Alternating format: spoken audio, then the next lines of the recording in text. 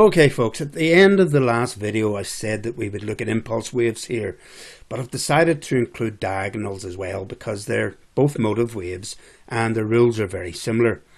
Now we'll look at the structure and examine the rules which distinguish one from another and then we'll take a look at Elliott's guidelines for motive waves in a separate video. Now let's start with this impulse wave. Now as we saw earlier, the basic impulse has five waves three of which are motive, which are 1, 3 and 5, and two are corrective, 2 and 4. There we have it. Now, here we have Elliott's rules for an impulse. And remember, these rules can never be broken, or else we're not looking at an impulse. So, for the sake of simplicity, we're only going to look at these in one direction. In other words, in the, this is a bull market, as it were, or a, a bull trend. Um, but exactly the same rules apply if you're looking at this upside down, if you're if you're looking at a bear market. But as I say, for simplicity, we'll stick to one direction. So our first rule we have here is wave 2 can never extend below the start of wave 1. So here we have wave 1 coming up. Now at this point this would be developing and then price starts to come down. Now if price comes down, oops that's locked if price comes down below the start of wave one, then we're not looking at an impulse, guys. This is something else. This is potentially a corrective wave, or it might be the start of a uh, an impulse in the, the opposite direction, but it's certainly not the start of a bull impulse. So rule one is that cannot trace down there. It can come down quite low. It can be anywhere within the bounds of our first wave. Okay, so that's the first rule. second rule, wave 3 is often the longest wave and the rule, it's never the shortest wave. So wave 3 could never look like that. That's not an impulse wave. Because in this case, wave 3 is the shortest. It could look like that, where it's the longest, or it could look oops. It could look like that where it's the middle you know that's the longest this is the next longest and the fifth wave is the the shortest but it can never be the shortest. And our third and final um, rule is that four wave four can never come down into wave one the price area of wave one. In other words we can never have a situation that looks like that. It can come down close. Let's draw a line in there to have a look at what we're talking about. That's the top of wave one. It can come down close to it, but it can never break. If it breaks it, it's not an impulse. And that's our three rules for Elliott's uh, impulse wave. So that's the basic rules, but let's just have a look at what we have here. If we had a situation where we had impulse wave come up, one, with two to there, that all looks grand. And then this next one comes up and it looks like a three wave, but before it gets becomes longer than one, it turns. And the four wave comes back into the area of one. So we've broken two rules there, guys. So how would we go about labeling that? It certainly isn't an impulse wave. But if we look over here, we can see it like this. Wave 1 comes up. We get our first one, which we think is 2. We've labelled over here as 2. We get our next one up, which we think initially is 3. But when it retraces, now we've got to think completely differently. What is this that we're dealing with here? But if we look at it like this, and remember we haven't covered corrections yet, but when we co cover corrections, we'll find one of the types of correction is a thing called an expanded flat and this is an expanded flat you don't need to worry too much about it at the moment we're just using it to explain how we develop our idea how our analysis our interpretation has to be dynamic in other words we don't just see it from the off as things progress as things develop we say, oh my goodness, this can't be an impulse. What is it? And once it's developed a little bit more, we can say, oh, I can see now what it is. That's the point where you start to get yourself in the position where you say, I can see what it is. So there's a high probability that it's going to do a certain thing next. And that's where we start to look for a trade. So in this situation, we had our one, we had an expanded flat, which gives us our two. Remember, two is a correction of some sort. And then we have our three. So at this point, we might be looking for a trade, guys. Three finishes, comes back down. Four is well above the end of one. So it meets all the rules. And then we have our five.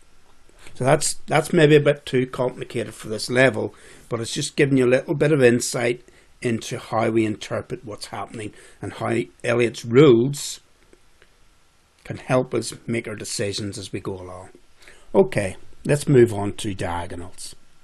Okay, so here we have a di diagonal, an Elliott wave diagonal. And you can see that it still looks very similar to an impulse, but there are some very, very subtle differences. So let's run through the rules. Wave 2 can never extend below the start of wave 1. That's exactly the same as in our impulse. That cannot come down below here, the start of wave 1. Okay, so everything's grand up to now. Wave 3 is often the longest wave and never the shortest. That's exactly the same as the rules for an impulse. In other words, this is often the longest, but it can never be the shortest. Okay, so everything's hunky-dory, everything's the same. And this is where a diagonal starts to look different. Wave 4 often overlaps wave 1. Do you remember in the impulse, wave 4 could never overlap into wave 1 in a diagonal, wave 4 often overlaps into wave 1. So that's impulse, that's a diagonal. There's the line at the top of wave 1 and it's encroached into it, but it's still a motive wave. It's still moving in a upward direction in this situation or a downward direction if we were looking at a, at a bear trend. And that's your two motive waves, guys, diagonals and impulses. And the variation, there, there are some other variations, but for now, the variations are that. If it's there, it's an impulse. If it's there, it's a diagonal. And everything else is the same, except the wave structure, but we'll look at that later on. The other thing that's interesting about diagonals is their position, where you'll find them. So let's have a look at the, the, different positions where we'll find a diagonal. Our first position is what we call a leading diagonal. And that's where we have an impulse wave coming up. And the start of it is a diagonal and not an impulse. Do you remember when we were looking at an impulse earlier? In the first video, we said that each wave was fractal and it was made up of a smaller version of itself. Well, here we have, ordinarily this would be an impulse wave. Ordinarily, this wave 1 would be an impulse wave, which would look something like that. But sometimes we get a leading diagonal where 4 overlaps into 1. When we get a completion of 1, then we get 2, 3, 4 as normal. So that's the first position as a leading diagonal. Now there are some variations yet again to this which we'll speak about when we get on to guidelines and we get a bit more into it and start to um, look at the variations. But for now, we're looking at the sim simplicity of it. We're looking at the rules, and I just you need to know this stuff first, guys, before we start to get, you know, more complex. The next situation we find is what we call a ending diagonal. In other words, it's in wave 5 position rather than wave 1. So we have a normal wave coming up, a normal impulse coming up, one, two, three, four, and then we get a diagonal where the fourth wave overlaps into the first wave, and that completes. When it completes, then we have our fifth wave. Now, one of the the guidelines to a fifth wave diagonal, an ending diagonal, is that it often indicates a sharp corrective move to come. But yet again, we'll talk about things like that later on. Our next position, and that's that's the two positions that we find a diagonal in an impulse. But you can also find them in corrective waves. So our third position for a diagonal is in a corrective zigzag. And here we have a what we call a zigzag. We'll talk about corrective waves later, guys. But just for now, this is what we call a zigzag. And the zigzag is an A, B, C. That's our zigzag. Looks like this. A, B, C. Which is a corrective wave, which we've been calling in blue. So that's the whole wave. And if we include the subwaves, take that out. If we include the subwaves, we can find a diagonal in this A position. This is A, B, C. A can be a diagonal. Then we have our wave B and C can also be a diagonal. Very, very rarely, guys, that you'll get this setup where you have a diagonal B wave and then another diagonal but I'm just using this to show you that you can get them in this position and you can get them in that position. Just to complete our diagonal position, here's our final one. This is what you call a flat correction. Yet again, we'll look at corrections in a moment, but this one is called a flat. And ordinarily it looks something like this, although there are variations to it, guys. we have an A wave coming down, a B wave comes up like that, with a C wave like that. And that's our correction, which would come after the top of our impulse.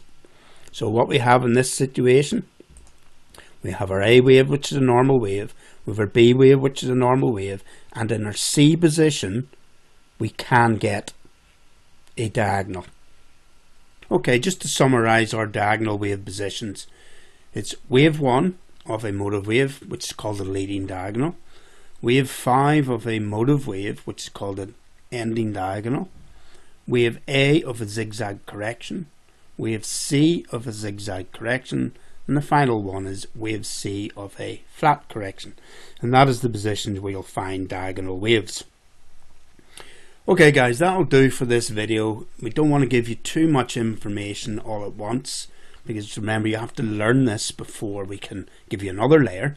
And in the next one we will go over all of those corrections that we've mentioned here in a lot more detail and we'll give you Elliott's rules for them. Okay, hopefully that was helpful. Bye for now.